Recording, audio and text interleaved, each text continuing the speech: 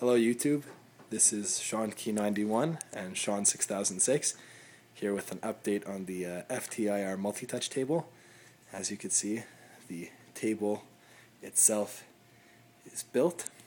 I'm just going to show you a side view over here with one of the panels taken off where you could really see the internals of the table have the mirror, the PS3 Eye, bunch of power connectors, a projector, and the power supply.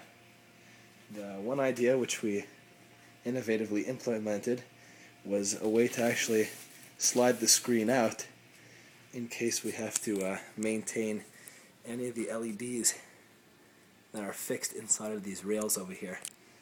So if we ever have to get inside the table, so it's all sealed up, we could just slide the screen in and out of place.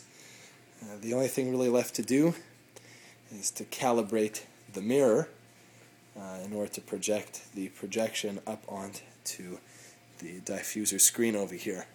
So it's just a quick update, and if you have any questions or comments, please leave it in the comment section below. Thanks.